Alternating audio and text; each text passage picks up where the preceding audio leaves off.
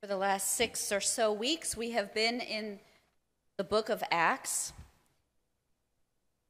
hearing about the Holy Spirit's work on the new church that it formed.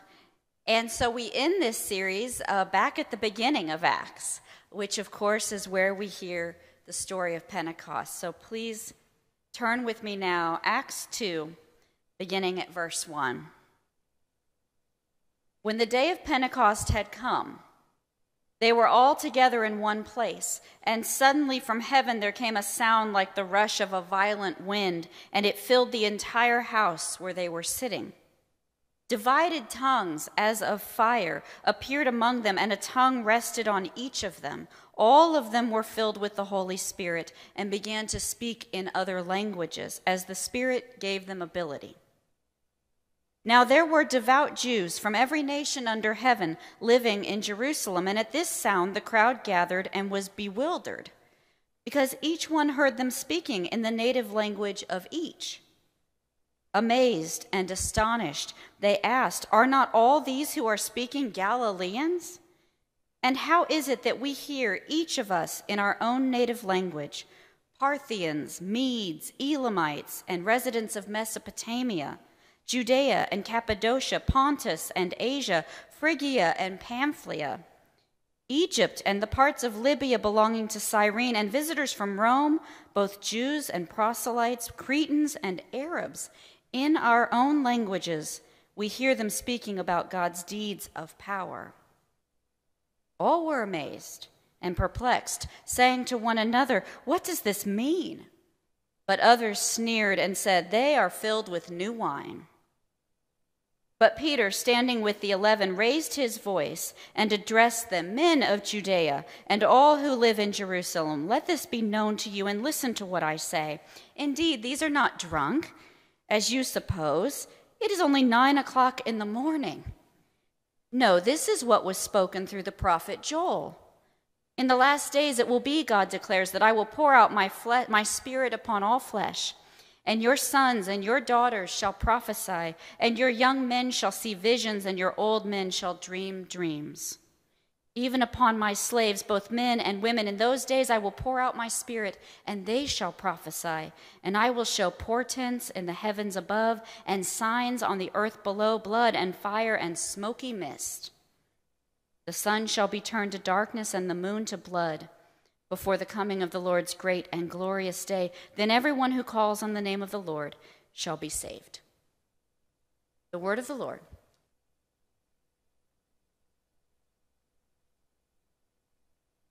Sometimes reading about Pentecost can make us feel inadequate. Tell me later if this is just a personal problem, but I think it can make us feel a little inadequate when we read about how the first Christians were overcome by wind and fire, and we wonder, where are our wonders? or when we see that they have been so powerfully touched by the Holy Spirit that they are able to speak in languages that span the globe, and we wonder, where are our miracles? But the day of Pentecost is not about that. It is not about over the top miracles and wonders. Let's not make this a superhero adventure film just yet. This, this is about ordinary people gathered in an ordinary house on an ordinary day. They were not glamorous or powerful or special where the day of Pentecost comes is it was one of many holidays in the Jewish faith, and it was the one that was to celebrate the spring harvest. It's named Pentecost because it comes 50 days after the bigger and more important holiday of Passover. So, Penta, 50 days. This is the setting of ordinary folks getting together for a secondary holiday. There was very little that set it apart. It was simply quotidian. Quotidian. You know what that fancy word means? It's in your bulletins as well. Ooh, David says he knows. It just means every day, ordinary, routine, quotidian. That's what the apostles were that day. They were ordinary and they were going about their everyday lives, quotidian. And it's kind of nice to think about it that way, to be reminded of it that way, because most of our lives are pretty ordinary, pretty routine. We wake, we work, we eat, we laugh, we make lists. We lose the list, we get behind, we sleep, then we wake and we do it all again. Like the apostles on that day in Jerusalem, most of life is routine. And if you have ever experienced this, there is perhaps nothing more in life that is more routine than being forced to attend an elementary school show. Have you ever found yourself in this forced situation? I mention it because I found myself in it just a couple of months ago. Uh, the show had once been called the Euper Lane Elementary Talent Show. And then the hosts of the show decided to become more honest and they took out the word talent and called it variety. Variety show. And we all appreciated the honesty. And so there I sat on a hard seat in the school cafeteria wondering how long this was all going to last.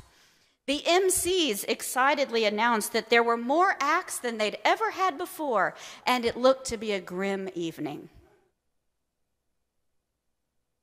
I settled in for quotidianness of the highest degree. You know what I mean. Those moments in life when it is all routine, ordinary, every day. I scanned the program after a couple of acts, uh, wondering what was coming next. And, and Walk It Out was the title of the next offering up on stage. I had no idea what it would involve, but I hoped it would move along quickly. We had 26 more to go. And then it happened.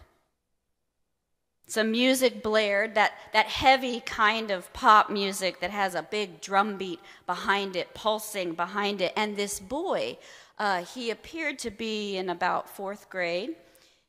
He appeared on the edge of the stage and he was all by himself and he was struggling to walk.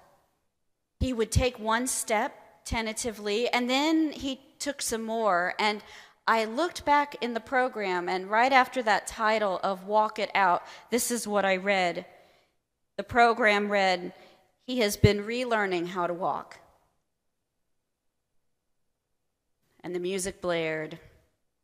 And the drum kept its beat, and that boy took each step, and the whole room had read what I had read. He has been relearning how to walk, and together the room held its breath. And the Spirit and the day of Pentecost came. You know how I know it came? Do you know how I know that the Holy Spirit was blowing through that room and fire was alighting on that boy's head? I know because we all saw in him what had been his greatest weakness become his greatest strength. That's how I know. Because that is what happened at Pentecost. Do not let the description of wind and of fire distract you. That is not what happened at Pentecost. What happened at Pentecost is that the Holy Spirit took what was the apostles' greatest weaknesses, their greatest deficiencies, and it used them to make them strong.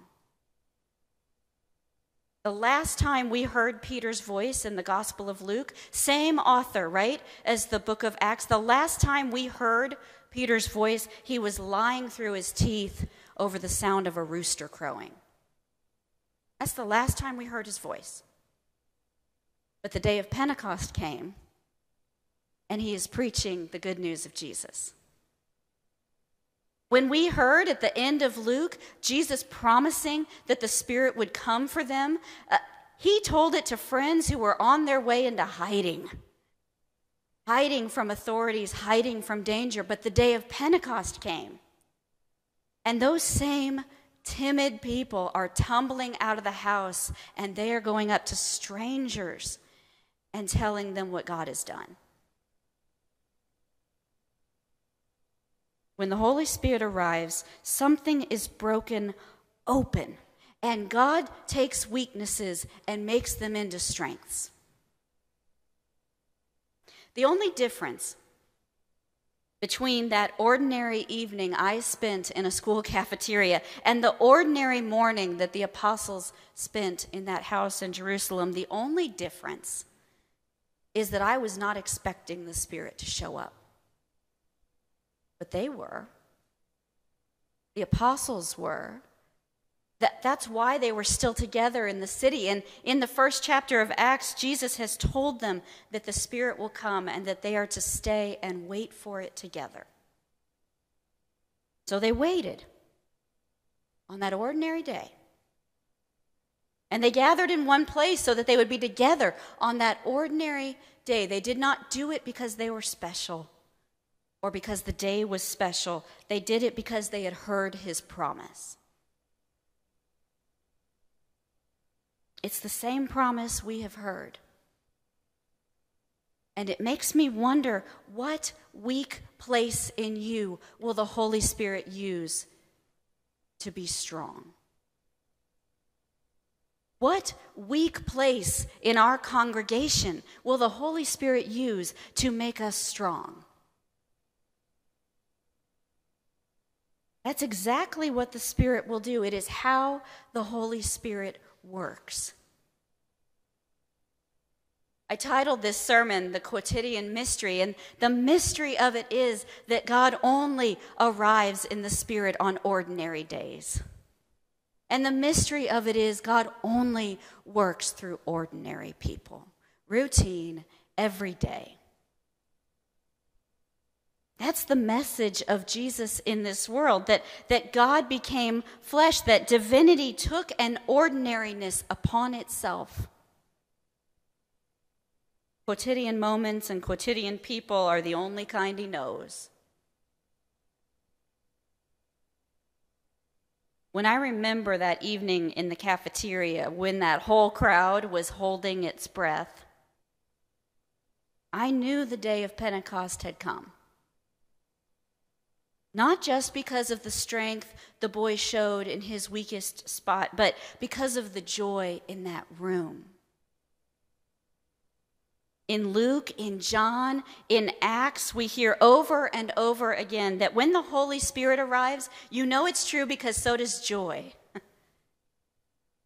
this is how they describe it. They say, My heart is glad. That's one way. And another, and my tongue rejoices. I am filled with gladness. More than speaking foreign languages, more than singed hair, joy is the outward sign that the Holy Spirit has come. And there was joy in that room. There was utter joy on the boy's face, and, and that joy infected the crowd. It raised them to their feet, and they shouted and whistled and clapped. It had taken most of the song for him to get to the, from the edge of the stage to the center. It had taken that long with his halting steps. But when he reached the center, um, he turned his body toward us fully and he raised his arms. And in that moment, we could all finally fully see the joy in his face, in his body, and in the t shirt that he wore that said, Best day ever. When the day of Pentecost comes, it is not about fire or wind. When the day of Pentecost comes, it is about God's ability to make new creations out of really rough and weak stuff.